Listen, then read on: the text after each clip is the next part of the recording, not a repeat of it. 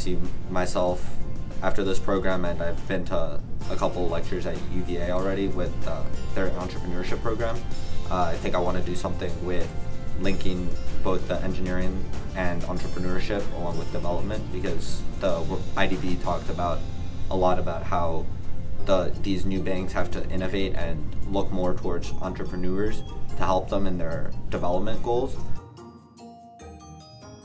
With my family, we travel about once a year to a different country.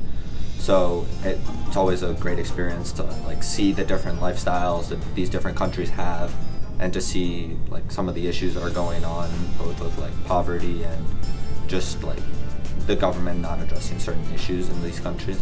I think it opens your eyes to a lot of what's going on around you. Uh, my name is Lucas Baioni. My mom is from Peru and my dad is from Brazil. My mom works in the IDB and my dad works at the World Bank with IDA and a little bit with IFC.